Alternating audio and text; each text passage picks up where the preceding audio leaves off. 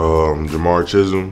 I'm from Valdosta, Georgia, and I currently go to JUCO in Oklahoma called Northeastern Oklahoma. When I think about Texas football, I think about uh, national championships. I think about you know good quality football. Um, the fans are crazy. I think about good packed games. It's crazy. Texas is just wonderful. My favorite tradition is Bevo.